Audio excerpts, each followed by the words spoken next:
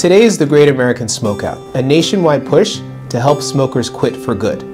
Here are some facts and tips for quitting smoking. Smoking is the most preventable cause of death and disability in the United States.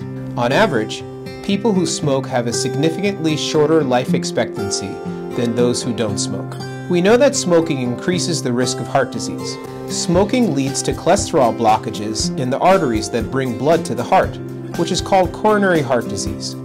These blockages can cause a heart attack and heart failure. We also know that quitting smoking is not easy due to the addictive substance called nicotine, which is also found in many vaping products. The good news is that millions of Americans each year are successfully able to quit and lead healthier lives. There are many ways to quit smoking.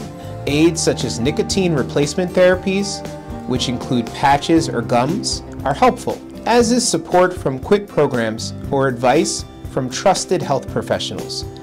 Combining two methods of quitting can be more effective than one. The best way to avoid heart disease is to quit smoking now. It can be done.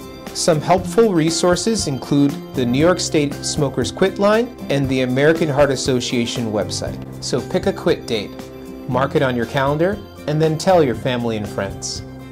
Here's to your heart.